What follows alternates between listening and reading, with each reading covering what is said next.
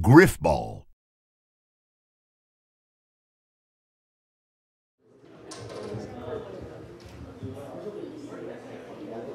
Uh, hello, everybody. My name is Goose Cheka from the popular Grifball website, grifballhub.com. And I'm, and Kal from the same site. So we are here to talk to you guys today about, you know, what else but Grifball. Side change, please. What's Grifball?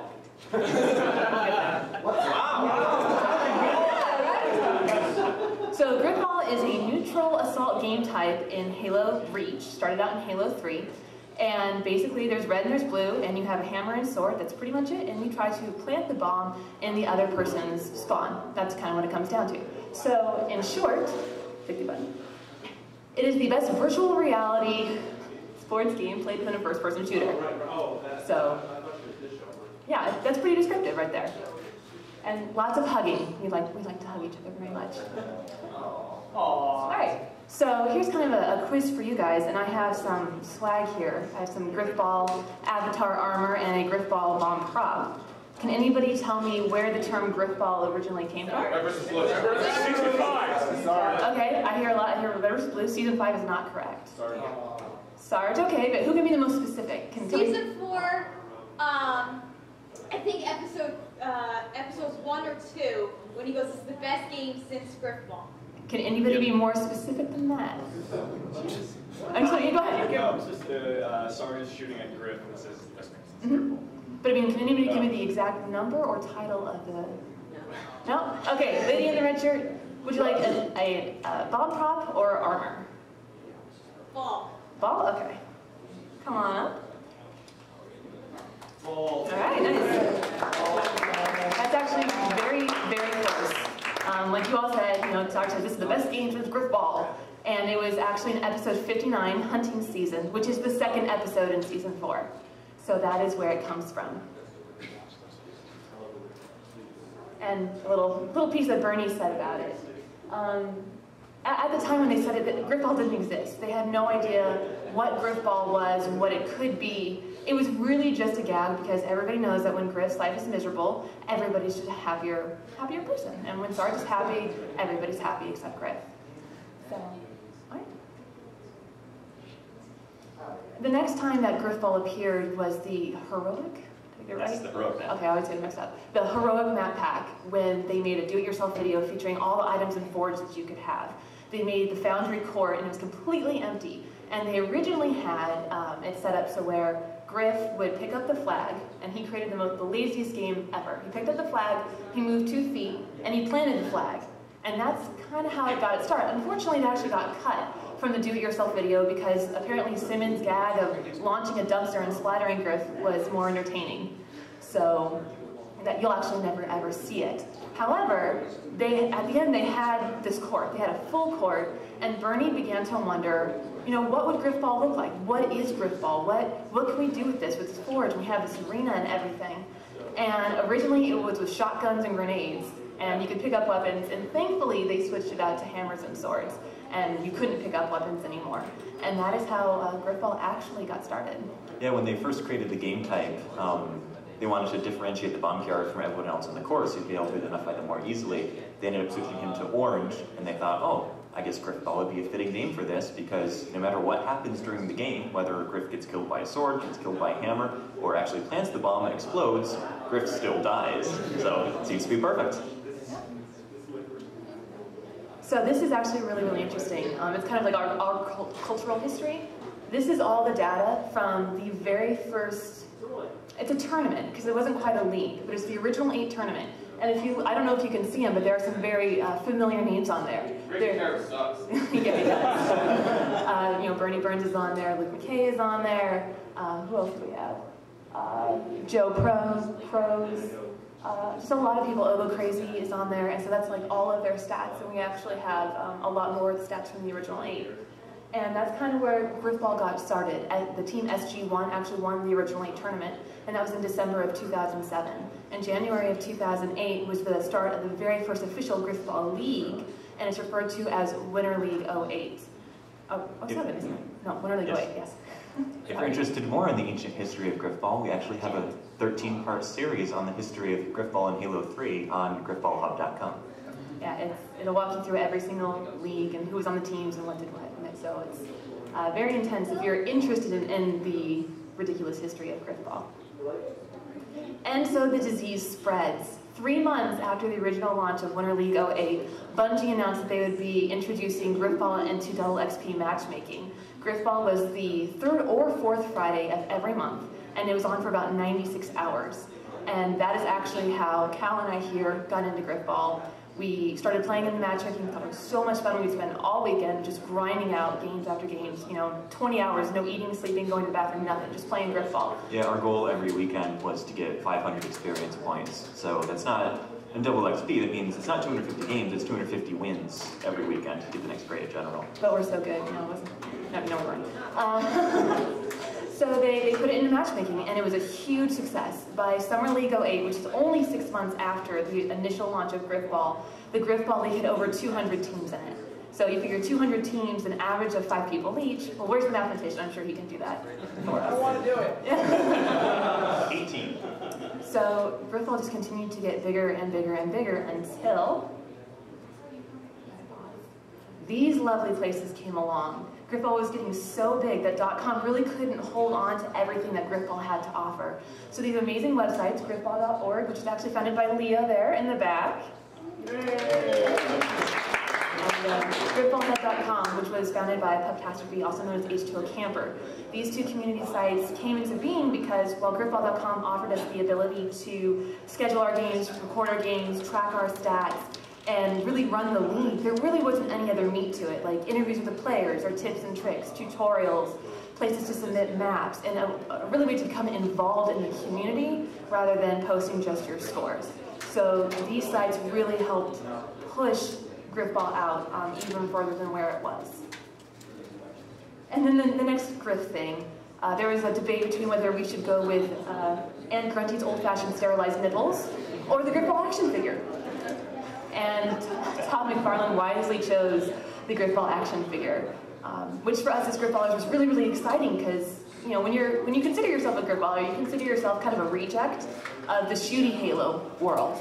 And to think that people were taking enough interest in what we did and what we loved to actually make an action figure, to actually spend money on us, it was kind of beyond comprehension.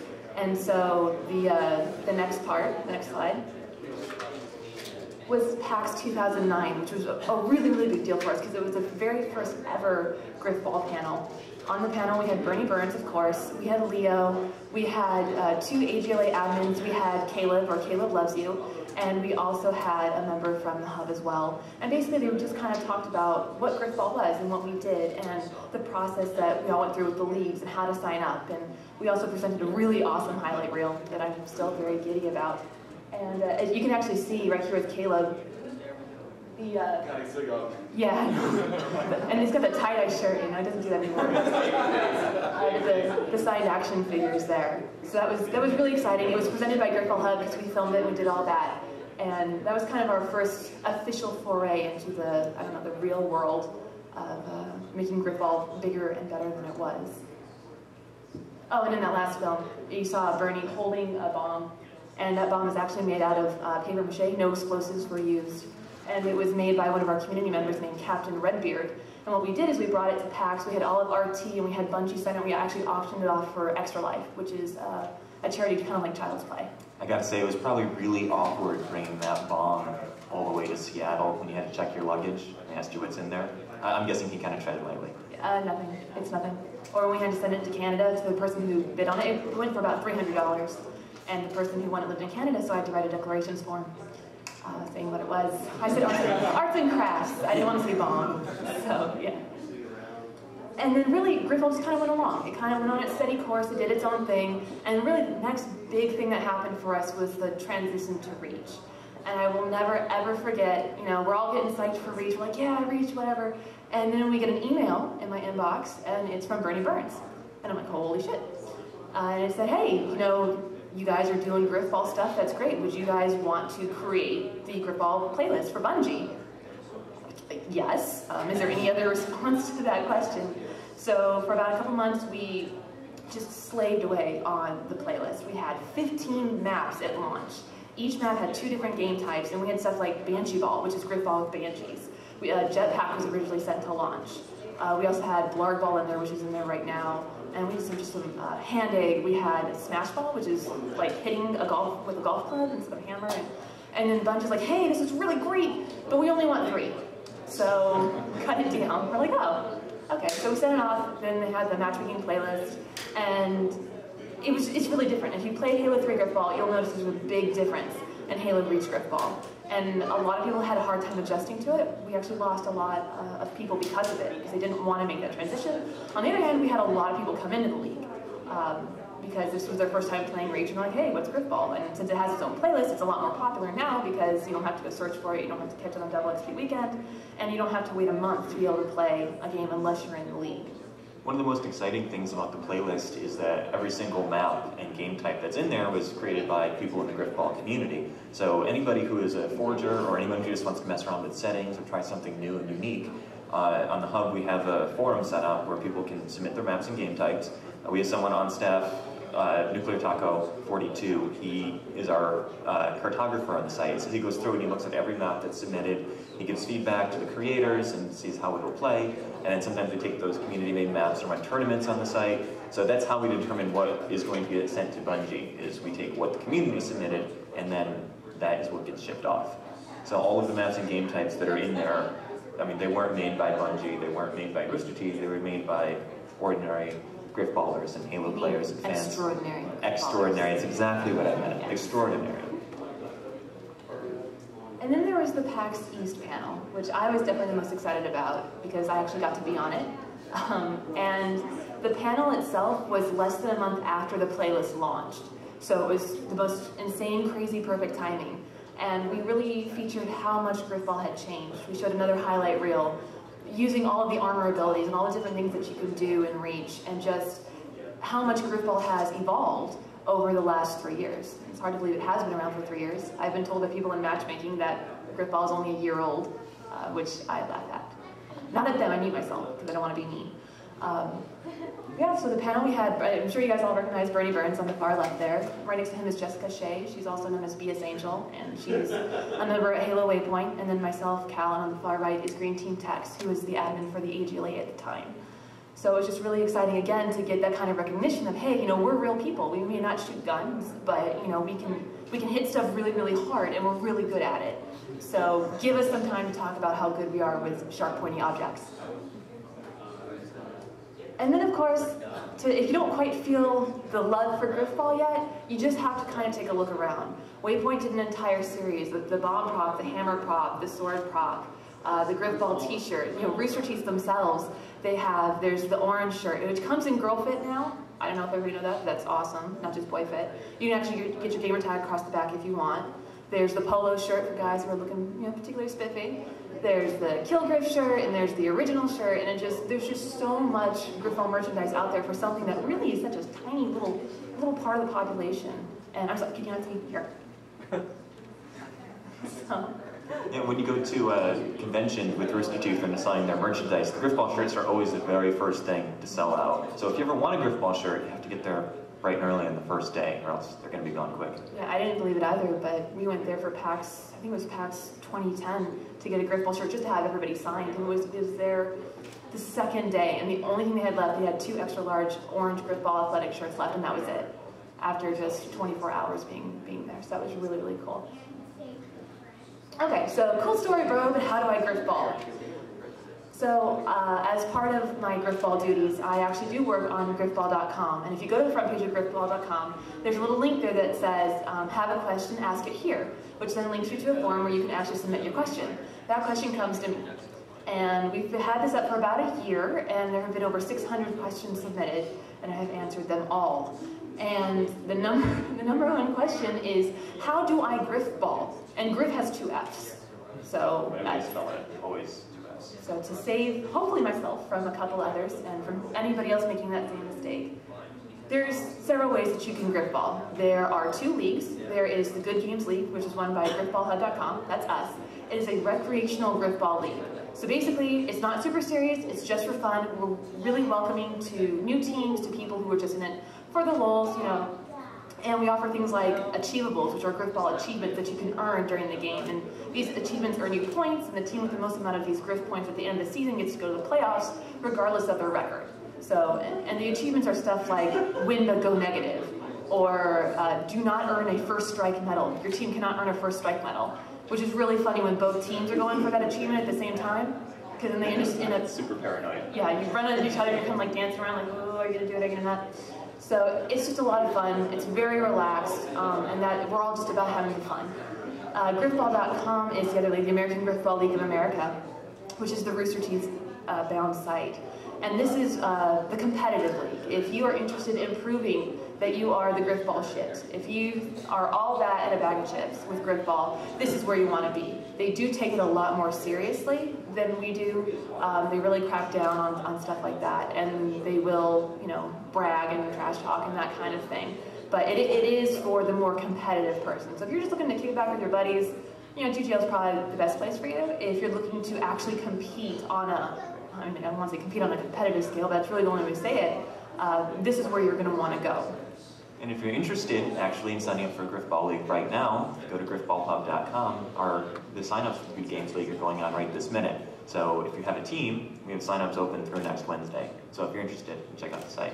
So everyone should. Should sign up. All of Of course, if you don't want to play in a Grifball League, the matchmaking playlist is open 24-7. There's usually at least a thousand people in there. Um, we recommend that when you play in matchmaking, you go in with a full team of four because sometimes you're going by yourself, your teammates aren't communicating, there's a lot of betrayals, or occasionally you'll run into griefers who stat pad in there. But we highly recommend that if you want to have your best time in the matchmaking playlist, go in with a team of four. And a lot of people will tell us, well, I don't have four people that want to play grifball with me. Like, I have friends, don't get me wrong, but they just don't want to play grifball. and that's okay. And really, the number one way to get grifballers on your friends list is to join one of the leagues. Even if you don't have a team, both leagues have a looking for a player thread where teams go through and they try to pick up people who are looking for a team. We recently just had a mixer where we, we basically adopted out all of our rookies and found them good homes. You know, we had them spayed and neutered too, so it's all good.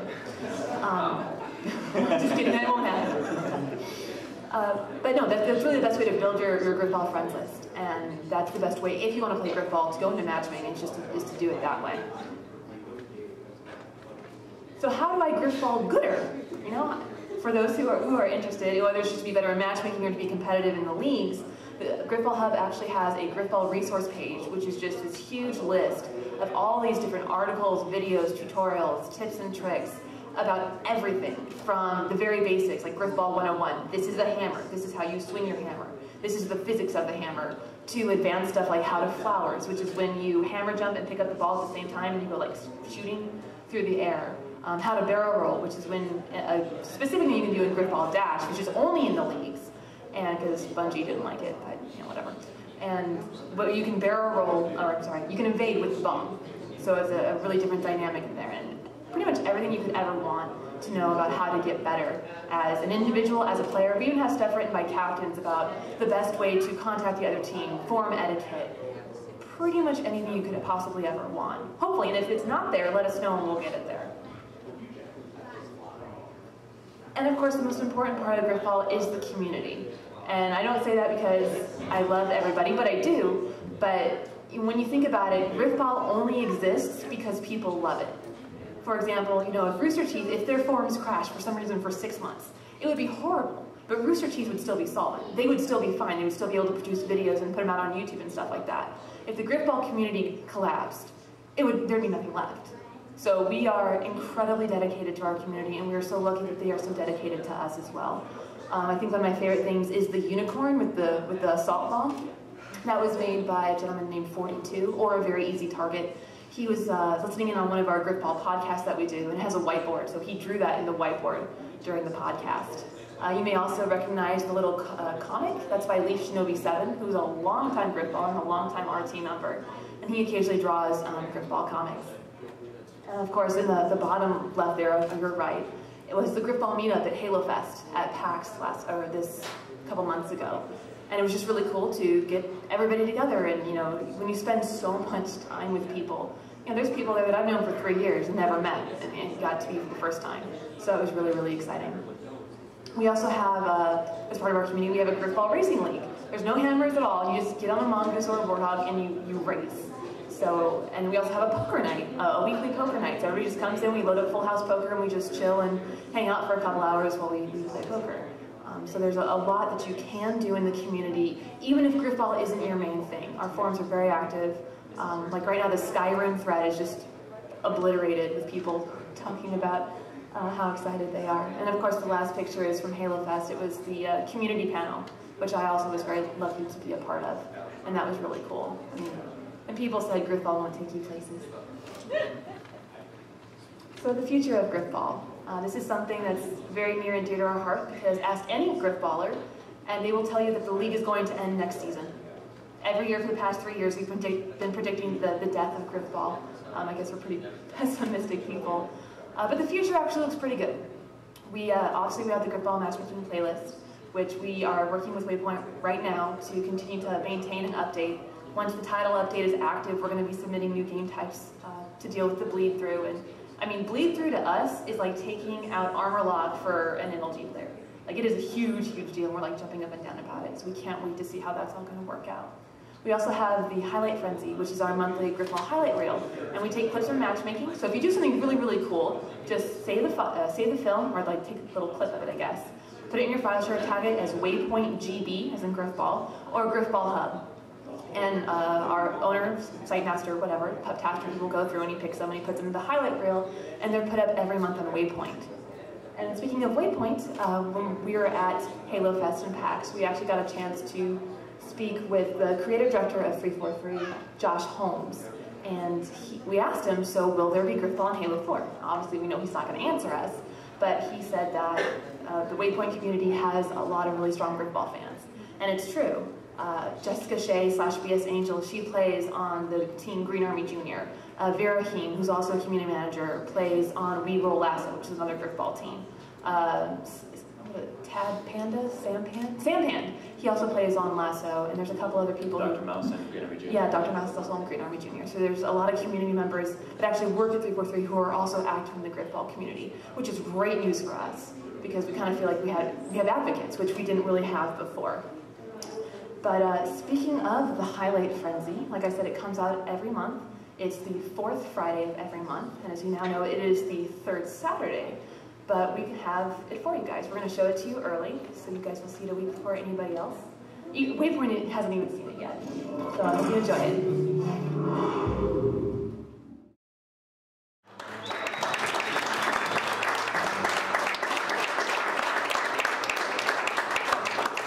So the uh, the guest vocals on there was Brian Simon. If you don't not quite familiar with him, he does a lot of parody songs, and he also did the Grifball for the Win song, which I'm sure we could all sing, right? Yeah, okay, never mind. We'd love to hear you singing. No, no, you really would. uh, so that pretty much does it for our presentation, and we were just wondering if people might have any questions for us. And if not, I might entice people with some codes, if you have a question. Just give me a hammer code. I will give you a hammer code if you come up here. Could you phrase out the form of questions? Will you give me a hammer code? So for someone who hasn't really played Grifball before, but wants to get into it, is there anything you recommend other than uh, go out there and be a noob? I mean, seriously, going into the forums is really your best bet. We have uh, on Grifball Hub a forum called Looking for a, a Team, or you can also just post an entirely new thread saying, hey, I'm new, I would like someone to help me out. We have a really, really helpful community. Um, it's really actually quite cute because Kal and I have been around since 2008. And so we're like the oldest geezers left.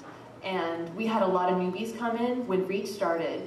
And it's really cute because now they're the veterans. You know, they've been around for a whole year they've got their big boy pants on.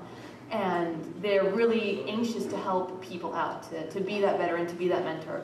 That's the thing, we actually have a mentor program. So if you're looking to find someone to either one-on-one -on -one teach you or to find a team to pick you up, uh, we also have that.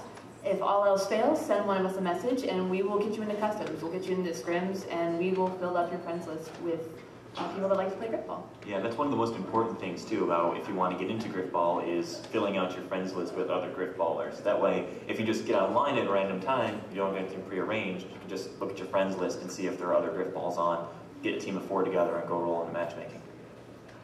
Would you like a prop or an armor code? I have no clue. Well, we have male and female armor, so. Female. I'll take the mail. Okay, all right, I'll put it outside for you. There you go. And yeah, So, if you wanted to start playing, what, how, when are the games scheduled, I guess? 'Cause- you actually get to pick. okay, Uh, like right now with the GGL signups, there are set days and set times, like Wednesdays at 8, Thursdays at 9, Sundays at 10. And so you pick the one or two that works best for you. And then you just show up once a week on that day and on that time, and you play two games a week. So and that, that's your division, but it is entirely up to you when so you want to okay play. if you can't, like, if you can't make like a week's worth of games, it's okay, Yeah, you can, you can always reschedule. We have a makeup week, so if you don't get a game played, you can always replay it then. Uh, you're free to play whenever you want, so if your normal night is Thursday, but everybody's free Tuesday, you are more than welcome to do it on Tuesday too. And if you miss a game, then that's okay, you just make it up later. So yeah, if you have to miss a week, that's not a problem.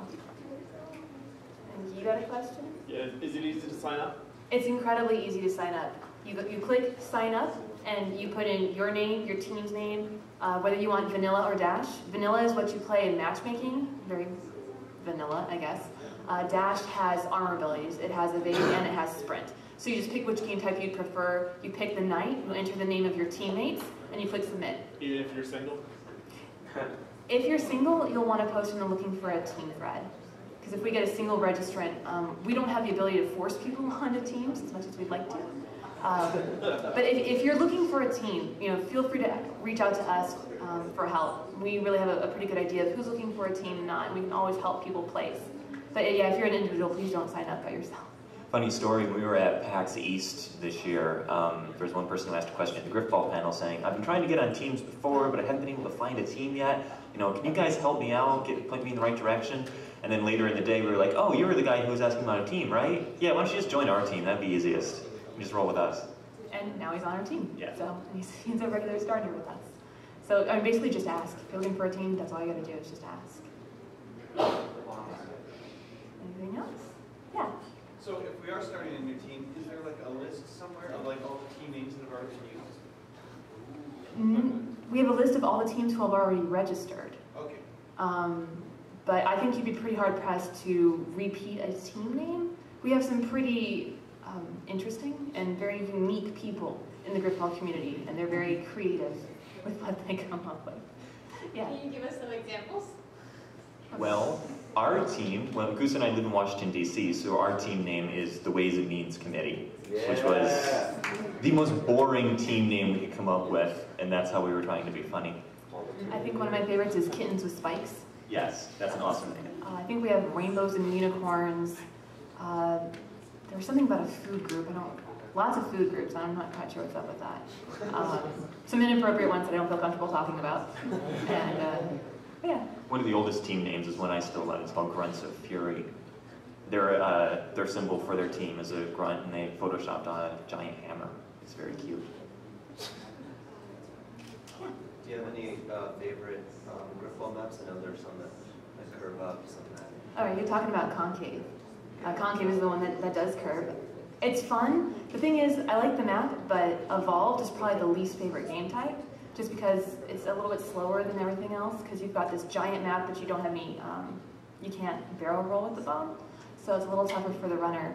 I would say, however, my favorite map is Cliffside, and that actually is an evolved map. So it's one that has like the, the natural rock formations along the edges. Um, that was probably my favorite.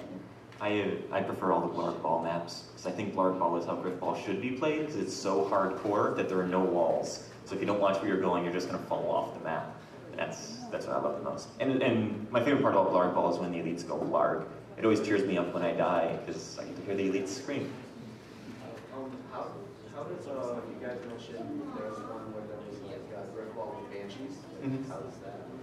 Well, it's not in matchmaking right now, but we play it occasionally. We we want some laughs. Um, pretty much, it's out in the water. There are three islands in the water, and each one, there are two islands where the goals are. They have three banshees each on there and a turret for defense. Um, everybody has jetpacks, so they can fly over the open water, and then the bomb spawns in the middle. So everybody jumps into banshees or flies on their jetpack to the center island, grabs the bomb, and then you turn into Grif when you grab the bomb, get the overshields and speed and all that, and you go from there. Uh, yeah, and you can use a banshee when you have the bomb too. Oh, Yeah, so if you, you can either jetpack sneakily to the goal, or you can hop at a banshee and fly right over and score.